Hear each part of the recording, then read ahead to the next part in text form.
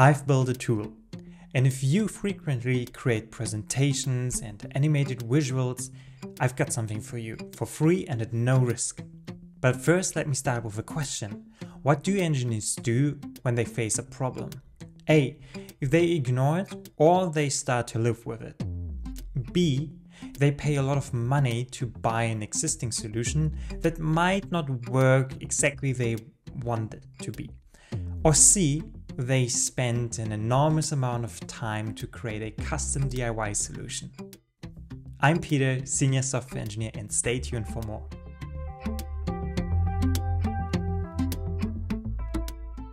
In my last video I used some visuals that I created with Excalidraw and I wanted to show these visuals in an animated way. So I did my research to find out how I could achieve that. And in the end, I chose Keynote, the presentation tool of the Apple ecosystem. In Keynote, I created multiple slides with the same image, and each slide had a version of this image with a different size and location. And then I applied the magic move transition. And when presenting this magic move transition, caused the image to kind of pan around and zoom between the different size levels. And it served the purpose. So I went ahead and recorded the video and then something unexpected happened. While recording the video, I saw that there are errors in the images. And I fixed the images and I just had to replace the images on around 100 slides. And this is very tedious to do, trust me. So I took the hard path, I fixed all the slides and I finished the video. So the end result was good. But deep in my heart, I knew this is super inefficient.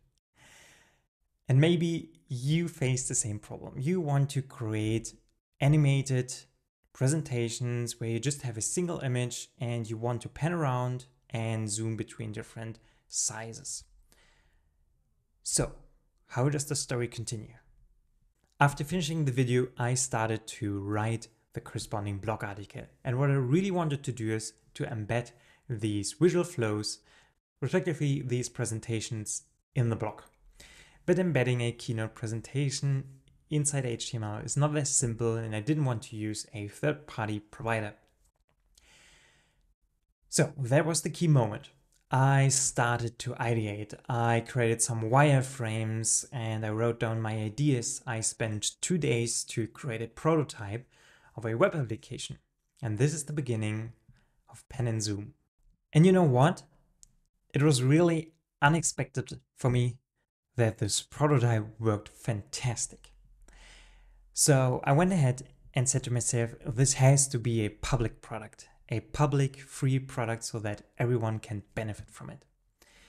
So I sat down and I wrote down what's necessary for an MVP, what is necessary for a final product, and what do I need to actually launch such a web application. So I started to work on the MVP stage, I added more features, and then after the MVP stage, I added even more features, more convenience functions, and it worked even better. And so then I continued with preparing it to be launched. I created a product page. I created help videos inside the application. I added a documentation site for shortcuts so that you can work very, very easily with that tool. And I added even more convenience functions. So there's a really cool out tool out there which is called Pan and Zoom and I will show you now how it works. I'm now on Excalidraw and I want to create a presentation for this thing here. So we have this poem about dogs with four verses and what we can do is we can click on export image, copy to clipboard and I will now go to Pan and Zoom.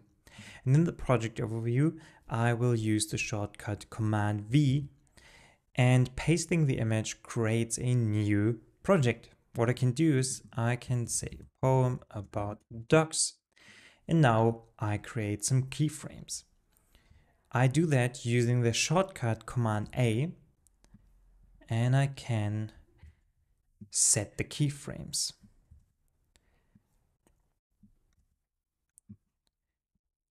If I want, I can check the keyframes by hovering over them.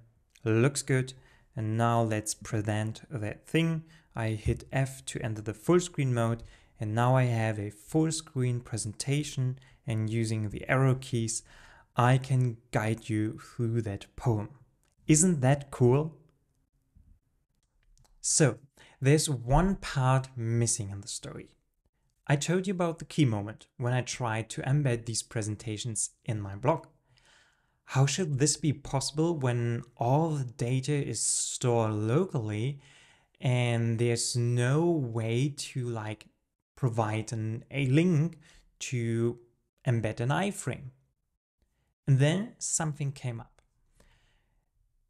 If you have a video, what do you do? You have a video player, usually the browser provides that, and you have the video itself, the data. You store the data somewhere, and then you tell the video player element where to read the data from. And in the end, you have a working video player. So I did exactly the same thing. I created a player to play such pan and zoom projects in an embedded way and you just had to specify either a link to a pan and zoom project or you could also provide an embedded respectively inlined project export and this way embedding pan and zoom projects became super simple and I used that to replace my images in my previous blog article with pan and zoom projects. Let's replace an image inside this blog article by a pan and zoom project. So down below here at implement session creation, we have the first image. I can click on that image and it's opened in a new tab. And now let's head over to pan and zoom. I've already created a project for session creation. You see, we have many keyframes here. What I first do is I export that project and I will copy that export to my public assets. Yes. And now I can open the project again and head over to embed. I can now copy the HTML code, go to my code editor, remove that hint here, add the code, and you see we have a script tag that could be placed like in a more top level file, like in the index.html file, but for now it's okay. And we have this pan and zoom present element. And what I need to do is I need to set the starter export URL correctly. So what I will do is I will say block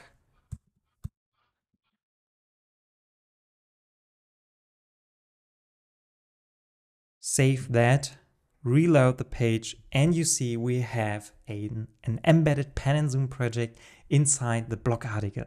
Isn't that awesome? And I can click through it and the reader can really follow along. So what do we have?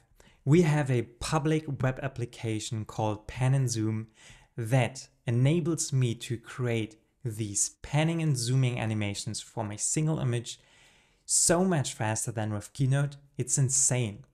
And the precision level is so much better than with Keynote, because in Keynote, when you had a big image, these grabbing things to change the size just went out of the viewport and with pan and zoom I can just drag around and zoom with a pinch gesture and precisely position my keyframes. And the best thing is I can now also embed these projects seamlessly in my blog articles. And you can do that too.